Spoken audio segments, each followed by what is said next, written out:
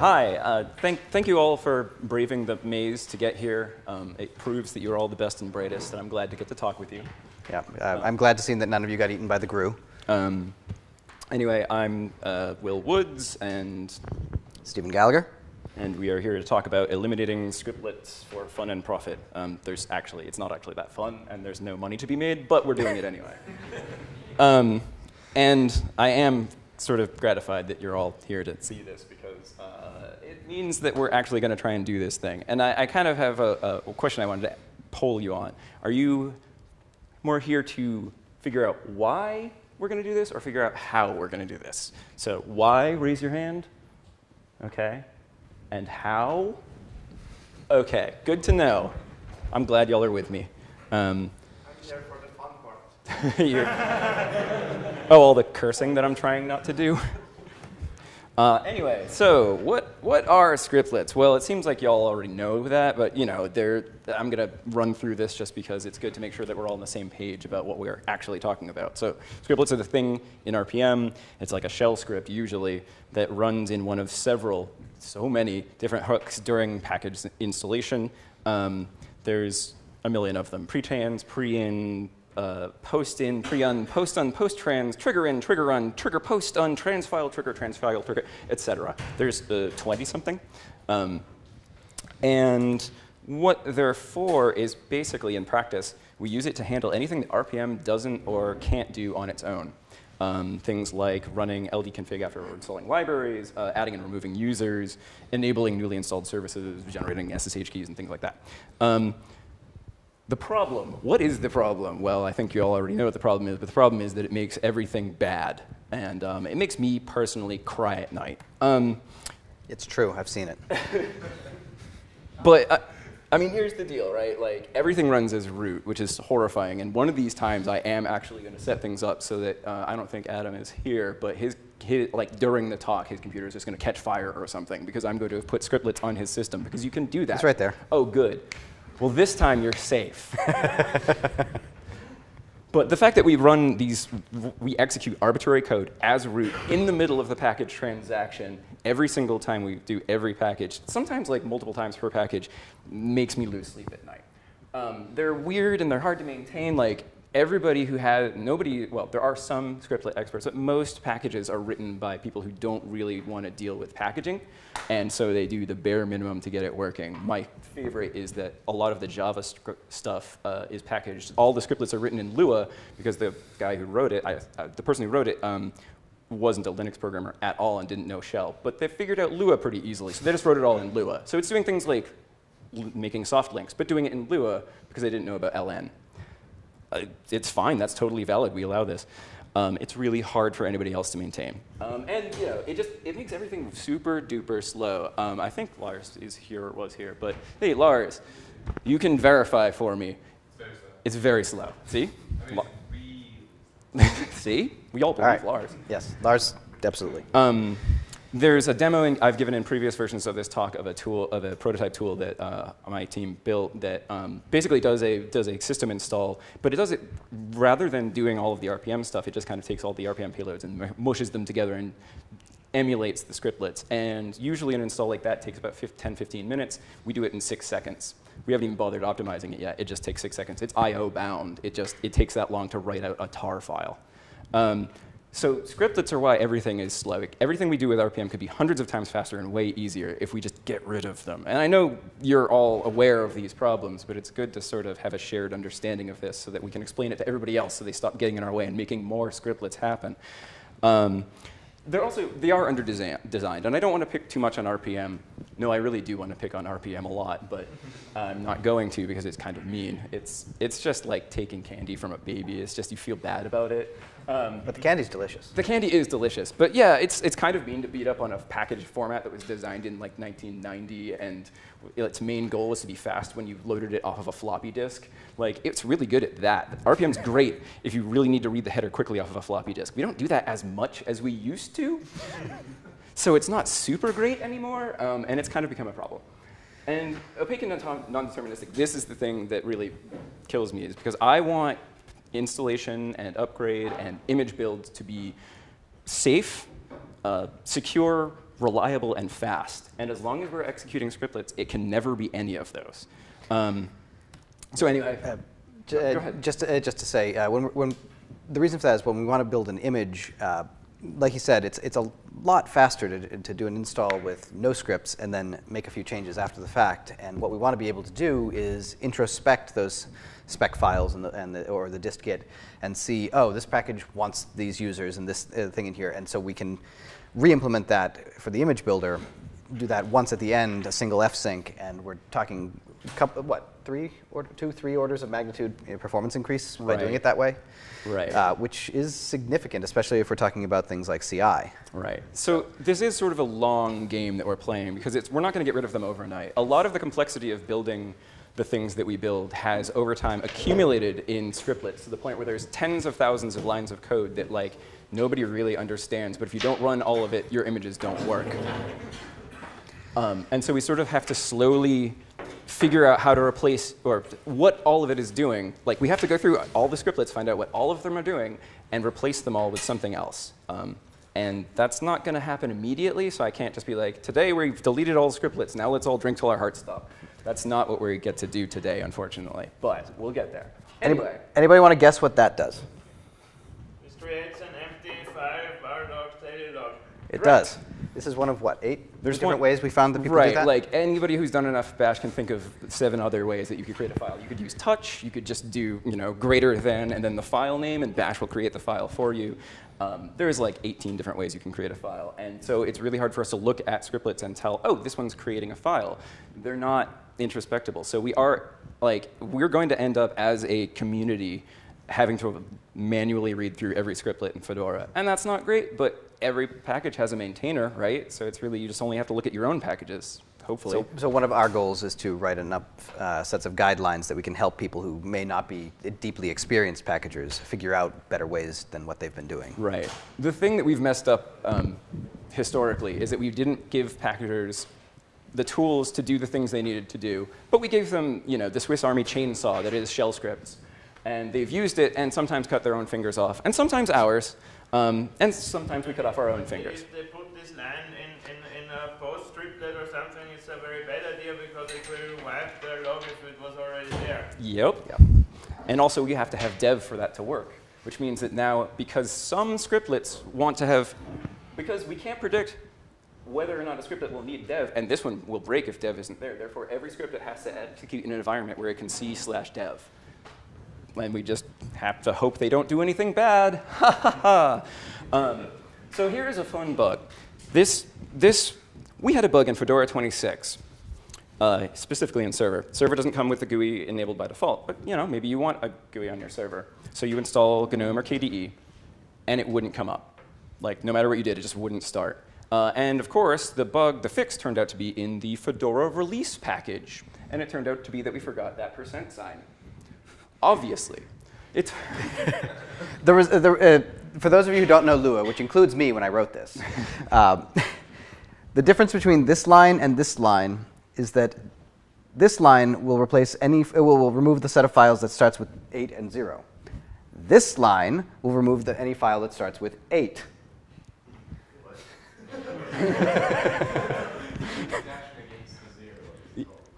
Right.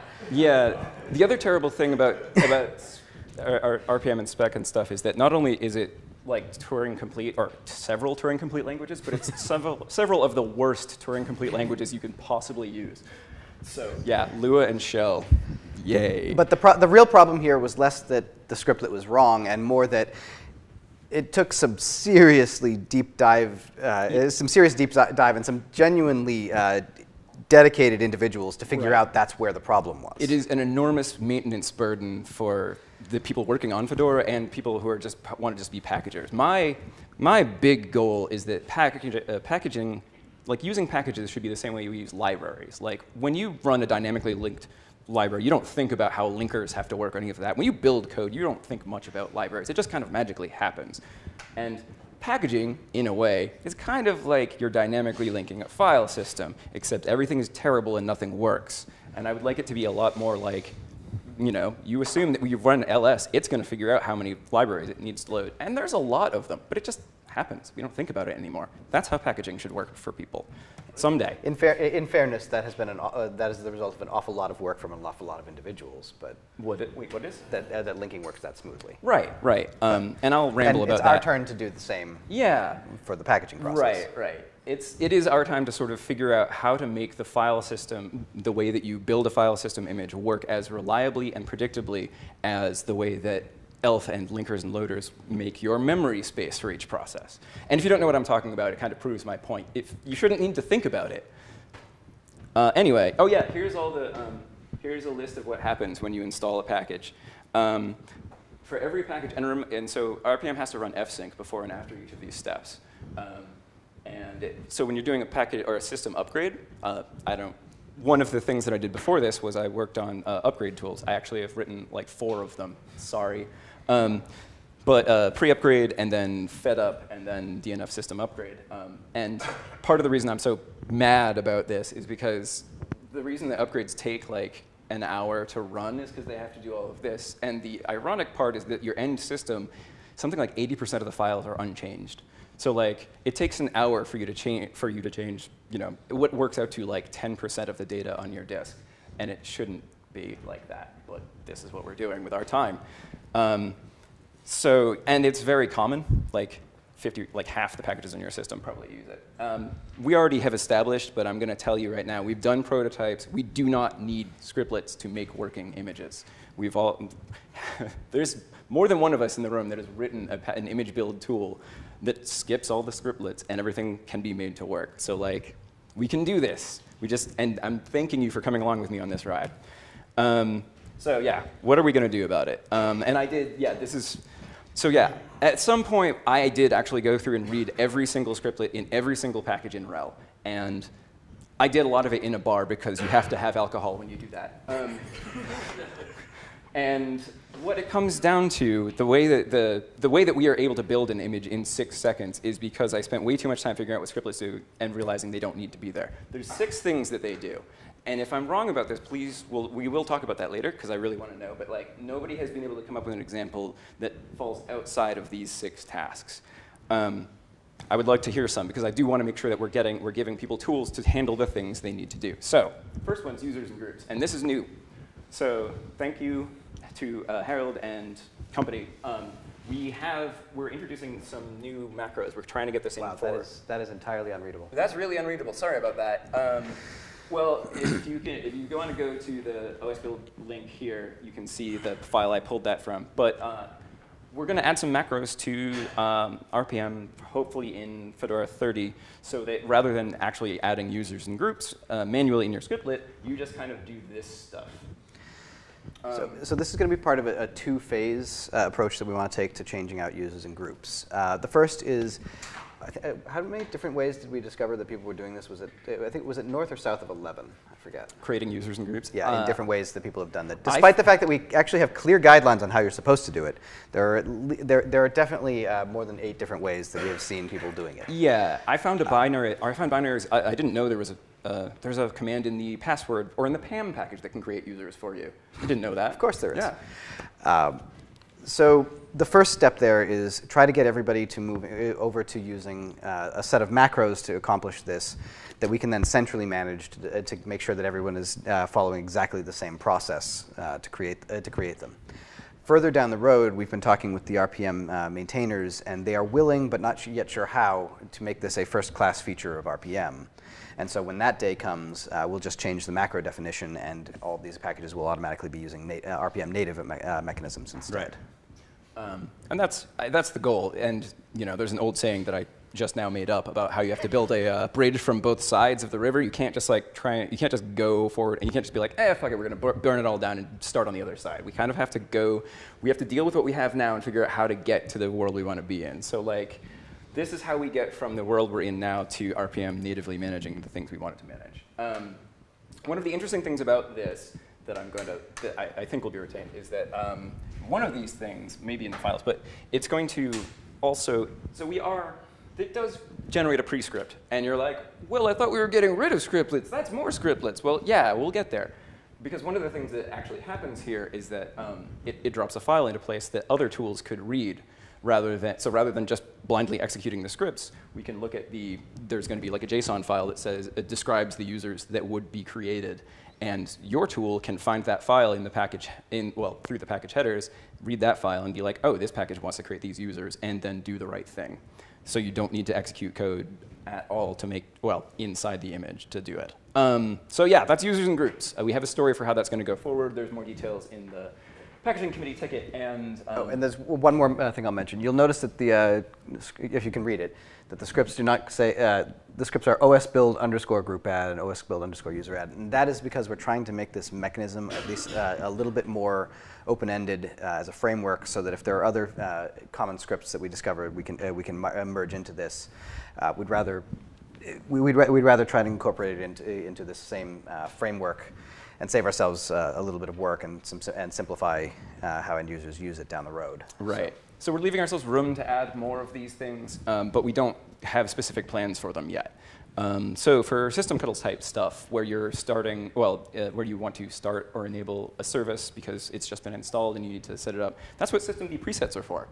Please Lovely. use them. Right. I, I, I, uh, I get very angry when I, fi- when I find that people are calling system, con- uh, system control in their scriptlet. It's, it makes me very upset. I do believe there is a um, there is a packaging guideline that says you are not supposed to run system control in Yes. your scriptlets. Yeah, so don't do that. There, there are very few exceptions that are occasionally granted when uh, bad old behaviors can't g- migrate to the correct behavior without doing so, but those are only allowed for a release until you fix it. okay. So, And do you have to go back later and delete it? yes. Good. Um, so yeah, Network Manager recently went through that. yeah. So the short answer is, if you if you have or see a if you see something, tell someone. Uh, if you see a package using system control in a script, tell the maintainer to stop it because and if that maintainer So system control enable, right? Because you also do pres- presets for system control, so it's confusing when you say. Or start, I've seen them. I've seen packages. Yeah, that try system and control their start really bothers me. Yeah, which is not great if you're trying to build an image and Or trying to, or, or the package is installed in Anaconda. right. Yeah.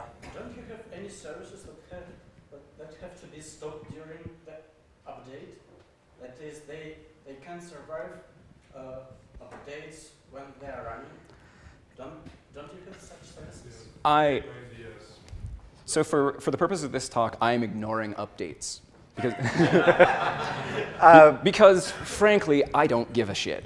Um, I, I, however, do. Yeah. So, uh, that is that is actually a, a case that we pro- we probably need to do a little more consideration on. So, uh, talk to us after the talk, and uh, yeah. we, we, we do we do need to think a little bit about that. Right. I mean, when I talked about the, the six tasks, the, whoops, whoops, oh no. Uh, these six, these, this is only during initial installation. There are other things, like obviously you have to migrate um, config files and things like that sometimes. So there are other tasks that happen during updates, but that's, But even still, a lot of those uh, we're, we'll get to the next to- the next one on the topics. Yeah. Uh, so some some of what you're saying about upgrades will be resolved by this next one as right, well. right. But you say we should use system D presets instead of calling system CTL, but uh, isn't there also the rule that you should we should actually call system CTL presets as the through that service to actually make the preset That stuff.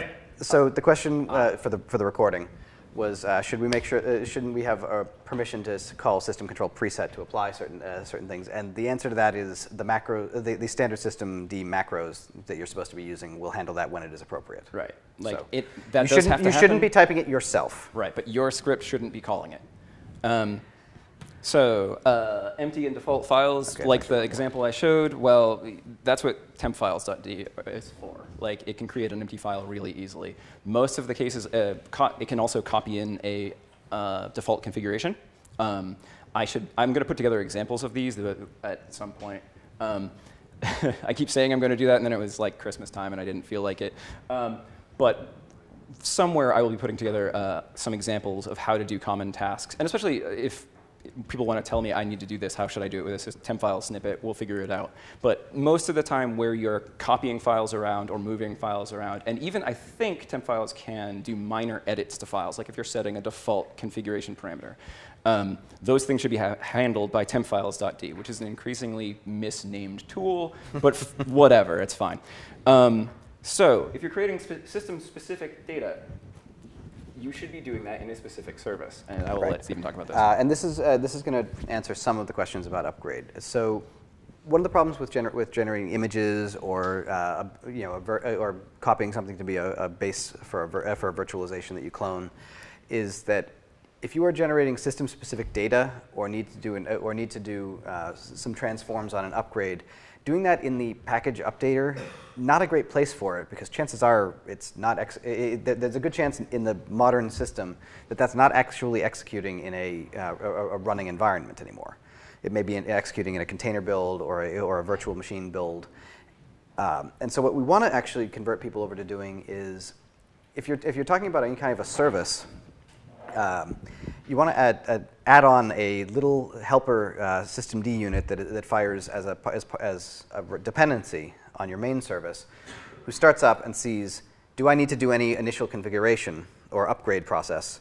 Do that, and then let the main service start. So if you upgrade your 389, uh, basically, this should just wait until your, your next reboot or your next time you restart the uh, service, and it'll do the upgrade at the start of the service instead of during the packaging during the package upgrade, uh, which is a lot safer too because you don't actually know what state the uh, the system might be in in the middle of a package transaction.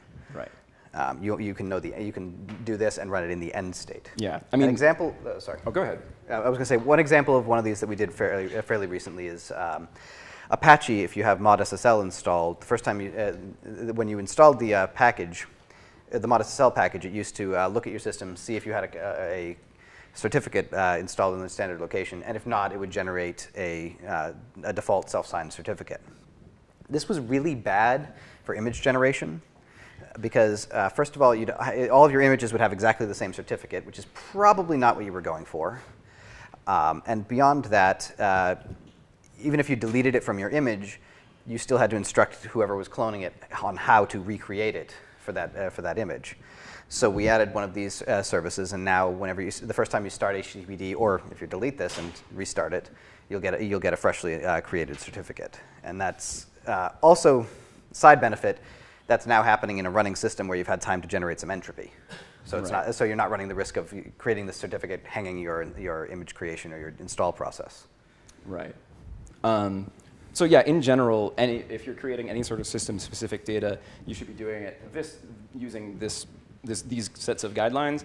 Um, and yeah, there isn't really much more to say about that. We, we, we've got this one sorted out. Please don't do that in your package scriptlets. Um, so for system config stuff, this, this happens sometimes where people like set up firewall rules or like turn SE Linux on and off or like insert a kernel module. Holy hell, please don't do that. Uh, I don't Yeah. like it when I'm trying to build an image and during the image build, the image build tool tries to insert kernel modules on my host system. That's not cool, man. Please don't do this to me. Um, so yeah, Basically, there are zero cases where this is an acceptable solution, and uh, there are non-zero cases of them in Fedora. right, this is a bad idea. Change my mind. Um, Well, I know uh, one, Uh, case with, with an change, uh, change my mind afterward. Yeah, if you don't mind, uh, we want to get through the slides Beg eventually. pardon, but yeah. Um, so really, and the last, the last is sort of a big category, and it's caches and catalogs. It's thing, it's dynamically generated files that I am forced to admit we do need for a working system. Um, so file triggers are great for this. Um, ldconfig is the canonical example. Every time you install a library, you, do, you technically don't need to run ldconfig, but you really do want to. Um, so in Fedora, as of Fedora 28, we handle that automatically using file triggers. We kind of, I guess, didn't tell people, or maybe We not did, we just didn't memo. enforce it. It's not enforced. Well, we don't need to really, I guess we can enforce it now because as of Fedora 30, there are no scriptlets that run ldconfig anymore. It happens automatically. You don't need to worry about it. It is not your problem. Um, so we're working on equivalent solutions for uh, install info when you have an info file, for GTK update icon cache, and various other tools that are like that. If you Font, maintain con- font config. font config, et cetera. If you maintain one of these tools and you aren't using, or you don't have a file trigger set up to handle the thing where all of the descendant packages need to run the thing to, you know, get themselves hooked into the cache or catalog, talk to us and we'll figure it out. Um, Etsy Alternatives is, is one that sadly is still necessary and sadly is still in the core system. Um, in that we ship, you need uh, even the most minimal system possible still install, uh, installs binutils, and we ship two load or two linkers because of reasons that I don't want to think about. Um, so the plan there, and I, I don't know if anybody who uh, works on that upstream is in the room, but um, I, I've filed a thing with them, and we've got like vague consensus that yeah, it'd be a good idea to have a config file format for that, and you just drop a file into place, and then things happen with norm- normal file triggers. Uh, nobody's written that code, nobody's written the file format. I proposed one, but we haven't actually done that. So if anybody wants a nice little bit of thing that they could contribute to upstream and you know be a hero, uh, that's something you can work uh, on. Talk to me. I should put a link there. Um, that's really about it. Those are the six things we know about. These are our plans for getting rid of them. If we all work together, we can roll this rock up the hill and be done with scriptlets once and for all eventually. Um, so yeah, are there any? This would be the place. eh, I'll let you say what you were going to say. Yes, sorry. please. We'll start with your question. So for, for the uh, configuration thing, uh, uh, uh, I know of one case with uh, SE Linux booleans, where the, there was the, the thing that uh, for uh, just-in-time debugger, like in this particular case was the KDE uh, KCrash Dr. Concrete setup to work, the, you need to have the ptrace self capability, and uh, SE Linux, the SE Linux paper said, no, we're not going to allow you to do this by default, and you should just enable the ptrace self boolean in, in a package scriptlet. And so the, the package that ships DrKonqi does exactly that now. So, All right, so- so there's a scriptlet that eno- enables a Boolean, and that's what the SE Linux. So, so there is Yeah. at least one package that uses Yeah, SE Linux stuff to enable a Boolean, boolean, and the correct. SE Linux guys. Uh, that was their suggested solution. Do I understand Yeah. correctly? Well, okay. uh, it doesn't sound to me like it was this, like necessarily. Uh, let me try to re- uh, rephrase the, sta- the statement too. So, um, so there exists a package. It's a debugger of some sort. Um, yeah, the DrKonqi uh, crash handler for KDE. Okay, the crash, han- uh, the crash handler for KDE uh, needs access to the ptrace, uh, to ptrace permissions, and uh, the SE Linux guys didn't want to give them gen- uh, generalized access th- for the package, so they uh, s- said that users should uh, just enable the ptrace binary, uh, SE Linux boolean, and so they put it in their scriptlet, uh, in a scriptlet. Um, I'm going to be honest, that makes my skin crawl. um, that should absolutely not be something that, the, Right. that is done, on, uh, done without a user's express consent. Right, I think that means need- I think, I, I think we need to find. I think we need to find a better way. Put it in the script that way. We, we said that it's a bad idea if, if you want to allow it uh, anyway, then it should be allowed in the rules. But they said no, it's just fine if you put it in the scriptlet. And then uh, we said uh, okay, we will do this, but uh, we don't think it makes sense either, to be honest. okay. Yeah, KDE doesn't agree with the, this decision either, and uh, I, I would be happy to go and talk. If, you- if you uh, remind me about this later, I would be happy to go and talk to the SE Linux folks about doing that right. I think that's a good example of a place where, well, all you really want is uh, for SE Linux Booleans, okay, apparently we need some solution for packages to be able to enable or disable them. They should have a tool that has a drop-in directory. You should drop a Uh, file in there. File trigger should handle it. I still don't agree. But It's a better solution. It's, a, it's better than the current. It's better than the scripted solution, but I still don't agree that uh, SE Linux booleans should ever be changed without a user's consent. That's not my, I don't get to decide that, Okay. but I do Uh, get to decide. I think Randy was next. Here it is package that does something pretty weird, and I've always thought it was weird, and it doesn't always work, which is that it dumps its database as like a backup during an upgrade. What are we talking about? I'm sorry. Uh, it's a package that dumps its database to a file as like a backup before we do the upgrade. And, you know, uh, I wondered if, if that in any way like happening. Have you ever seen that anywhere else? I always thought The question is if I've, we've seen, a, if seen any packages that dump their database to a uh, file before doing an upgrade. Um, isn't that the recommended way to do an upgrade for uh, MariaDB or uh, MySQL? I, I feel. I Um, mean, again, yeah, that's that's gross and it makes my skin crawl. Uh, but I don't That really. should also not be happening in a scriptlet. Uh, we should be talking to them about doing that in a, uh, a a helper unit. Yeah, that seems like something that should happen as a, as a helper unit. Uh, yeah, with, one of the other fun things about scriptlets is that we don't have any idea how much disk they're going to take up, which is why sometimes you try to do an install and it's like in midway through you're out of disk because scriptlets can do things like back up an enormous database without telling you, and then it, and then you're just out of luck. So wow, yeah, um, that shouldn't. Yeah, so happen. that makes the up, that would make the upgrade unreliable, whereas putting in something sort in something like a service unit would mean that the upgrade succeeded, and then your individual uh, applications had had an issue that you can then go and resolve. So would you, let's, let's sort of, would you recommend I that code and not do that? Um, that's an interesting question. I think that probably there needs to be some sort of. So when we do start talking about, and this, at some point, this talk should include a. a we should start talking about uh, upgrades and migrations, and probably part of doing an upgrade or a migration would involve backing up. Like that might be a thing that some stuff needs to do. I can't assert that that's never going to be needed, and so I'm not saying you should delete it. mark it though. Figure out, like, put a big old comment around it that says, hey, this is doing an enormous backup. And then uh, I think in general, if you see, we should start marking things like that so that we can figure out which packages do this sort of thing and then start figuring out what we actually need to do. And also to be able to pull those things out and um, put them in their right All right, place. uh, just, uh, uh, Florian Okay. has been trying to interject something for Florian. a while. I'm sorry? I said, there is a way to actually reserve space for updates like this, but of course not for a database that has arbitrary size. But Right. you can, you're able to put uh, ghost files into your package to make room for doing stuff, and it's actually done by a kernel package. Sure. To build- rebuild stuff.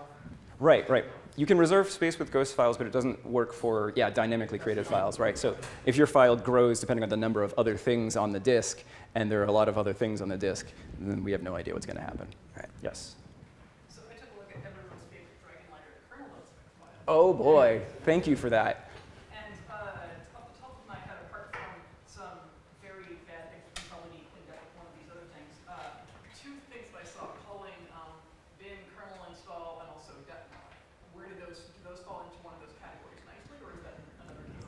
So depmod is a is a catalog, right? It's a it's a list of here are the kernel modules that are on the system. So it is a dynamically created file that does need to be created um, that for proper function.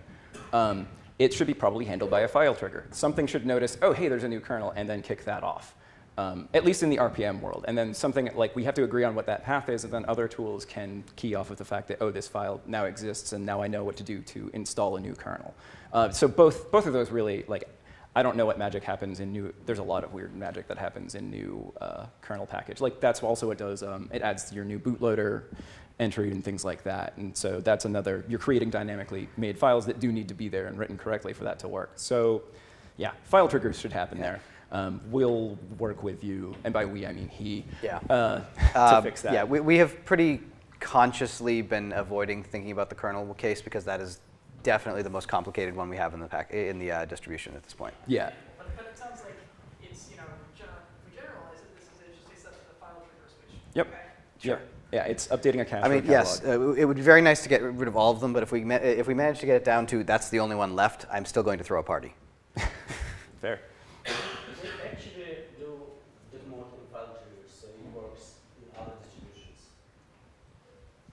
Oh, there are. Okay, so depmod in file triggers works in other distributions. Oh, Uh, neat. w- I repeat for the uh, recording. That's good to know. Cool. All right. Are there any other questions or? Yeah. So, uh, one way to force people to remove their scriptlets because, for example, uh, those um, install info and you some other scriptlets uh, are not handled by file trigger in people, and people tend to have their spec file which works on all kind of shit, uh, OpenSUSE from 2010.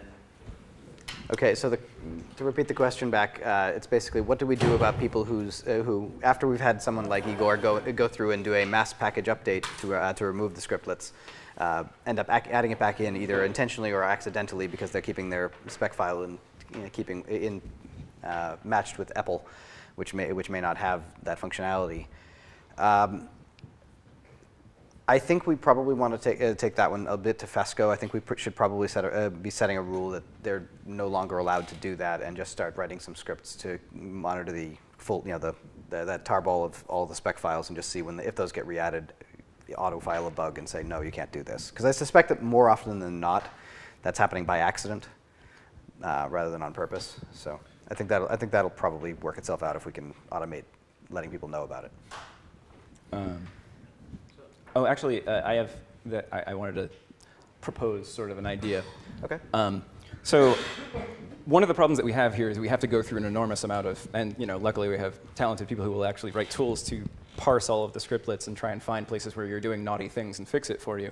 Um, but we can't always do that, and I'm thinking that um, one of the things we might want to start talking about is whether we should split scriptlets by uh, task, so that you have your, your you can have two post scripts, but if you have upgrade stuff, that goes in a separate post script from your initial install. I'm, this may be a thing we want to do. That Uh, would require uh, changes to RPM, I think. No. You can, mul- you can, somebody tell me if I'm wrong, but I'm 90% sure you can have multiple post scripts and it just runs them in order. You can have multiple postscripts, but the last time I tried it, uh, only the last one you wrote ran. Okay, well, we'll, we'll not. All right. Forget I said that. it was a bad idea. Pretend I said nothing. We'll figure something out. Um, anyway, to the slide it lists uh, scriptlets that could be replaced with file triggers. Just for a second. There used to be a, This one or? uh, yeah, this one. Mm-hmm. No, no, no. The, the, yeah. Uh, where is it? Wait. It used to be here. Uh, It's the- It was the last one, I think. the first one you just showed. There, there's there's six. So this is the only one about. Yeah. Okay. Yeah, uh, uh, I just wanted to say that uh, uh, it's perfectly doable. Uh, I know about that because we, we just did this several years ago. Uh, in, it's a different distribution, but it just shows that it's possible. And also alternatives and all this stuff. It's Oh, uh, Do you mind, do you mind if I ask which distribution uh, has already done this? Because uh, I can't read that. Ah, Alt, okay. so wait. Well, that's, that's good to know because we should really be uh, exploring what you did and try to re- you can share replicate it. experience if you need Yeah. So you're saying that. It's really difficult. It, So you're saying. have to start this and then. So wait. Uh, did I hear correctly? You're saying that Alt Linux has a config file format for alternatives? Uh, we use a different uh, for config format for alternatives, but we do this, yeah. Okay. We, d- we don't have a. We don't have one at that all, That doesn't exist. I so- sort of proposed an idea, but we never Ah, we wrote it. yeah. But you have. Uh, If you, if, have you- a- if you have one, we- let's, we let's, let's talk. We have a config files for them, yeah. Okay. Yeah, we're gonna we're gonna thanks. steal that from you. Thank you for writing it. Yes. So, We're not, it's stealing, we're Oh, collaborating. it's open source. Yeah. We're collaborating in a Yeah, unidirectional manner. Absolutely. and the question I would like to ask is about uh, adding users and groups. Could you elaborate a bit? How would you like to, not just adding markers, maybe, uh, what, how would you like to implement this? I'm actually going to, if, if he's willing to, I'd like to have Harold explain this one uh, because you're more, you're closer to it than I am. Um, basically, these macros call out For the record. the, these macros call out to some uh, Lua code, which then internally stores them in, in a big variable, uh, RPM variable, and then extends this JSON string with uh, the data, which groups to add and which, which users to add in the beginning, and then when you call the OS build pre, it will generate a pre-script like you had before with the user add group add, like it should be, even with systemd uh, users, Yeah. So even the, the general idea if you want to. And the OS build install thing will dump the JSON file basically to a disk, install it, or can render the temp files or systemd sys users files also. That depends on what we like to have it to render, and the, the OS build files just pick up the file name. It just generates the Right. So the, the general concept is that the OS build whatever uh, macros build sort of a configuration in memory, and then we have other things that write out the appropriate things to you know act, do whatever you need to do in pre or in install to actually uh, activate that configuration on the system. The nice thing about this is if you're not, you know, if you're installing the package, but you're not going to be running scriptlets, the, the, the configuration it generated is still in the package, and so we can make the changes we need without running those scriptlets. Right. And it's in a format that is easily parsable. Right. That's a lot of spec file work. I think it's like It's significant, it is significant. It, it, it- so the uh, question is, it's a lot of spec file work. Uh, my, my return argument is it's less complicated than the script it's replacing, and it is, uh, and it is extensible for other tasks. there must be better ways to do this. There must be a better way to do this is always going to be true. I mean, the better way to do it is not do it. And actually, I do believe that Florian has talked about um, adding users and groups as sort of first-class objects in RPM at some point. This is the way to go. Right. Yeah, but that's- that's, going to is be years. goal. that's going to be years down the road, and at the very least, if if we've implemented that in the middle, that also and add other stuff to it, Yeah. so that it's not users and groups, so it makes Yeah. sense. It, it will take a long time for, even if we added that today, it would be uh, probably a couple of years before it was uh, on all of the systems, even just in the Fedora infrastructure. And then, so we can't rely on it uh, for many releases. And then when you start thinking about, say, something like CentOS or Red Hat Enterprise Linux, it wouldn't be available there for several years probably. So we need some sort of way to get from where we're at right now, which is crazy town, to the nice place where RPM handles users and groups um, properly for us. So I agree that the better way to do it would be to have RPM just handle it, uh, but we need some sort of a um, uh, transition. So that's what these are for. They're not my favorite thing either, but what are you going to do? So I, I have a question about file triggers. So are you fine with packages doing pretty, pretty much anything in file triggers, or this, uh, are you do you also want to, to restrict these things? Because I have some, I'm asking because I have uh, at least two create two creative uses of file triggers that I deployed. One, one actually at, at Fedora, and one is so weird that I wouldn't ever want to submit it to Fedora. Uh, Okay. And uh, you can do, uh, because the fun thing is you can react on, on files installed by other packages, no matter whether they, they're installed before or after your package. Okay. Um, so the question is, I think to boil it down, uh, the question is, what restrictions are we willing to put on what what, what uh, various file triggers can do? Um, because you can do some pretty strange things, including uh, trigger on other packages' files. I think the fir- uh, I don't think we have a clear idea what those restrictions are going to be yet, but I think we've established as a policy that uh, when you create a, fi- a file trigger of any kind, you're only allowed to do it for things that apply to your package. And if you're doing it for something else, we should probably say, no, you can't do that. Yeah, I think that's a Um, good point. And that, I I- do we have any restrictions on what packages can ship file triggers or, or what can be done? And it sounds like the answer is no, we don't, and I really think we should. My, my goal would be that For the most part, packages, uh, most packages aren't doing any of them just because it's a lot of upfront work. yeah, and it's usually not necessary.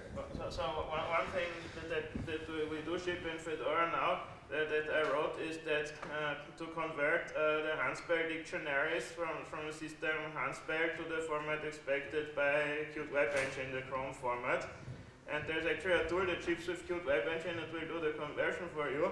And I, I actually wrote a file trigger that that that uh, whenever you install a system Hunspell dictionary, the file trigger will recognize it and automatically call the Qt Web Engine uh, dictionary conversion tool and store the converted dictionary in a Qt Web Engine directory. Okay, so the, the statement was uh, there.